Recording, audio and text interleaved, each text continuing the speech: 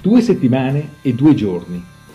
È trascorso tanto tempo dalla burrascosa scena che tutti noi abbiamo visto all'epilogo, durante l'epilogo di Juventus Genoa, Juventus Stadium, durante la quale Conte e altri giocatori della Juventus protestavano contro l'arbitro guida per il mancato rigore concesso ai bianconeri.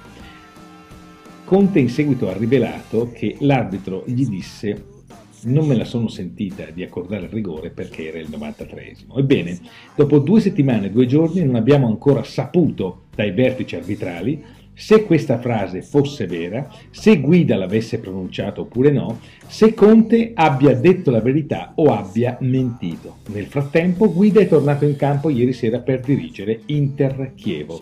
A noi questa omertà non piace per niente. I vertici arbitrali debbono stabilire se questa frase, che qualora fosse vera sarebbe di una gravità inaudita, sia stata o non sia stata pronunciata.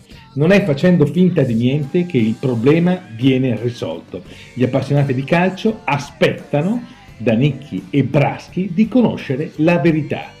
Staremo a vedere quanto tempo ci metteranno.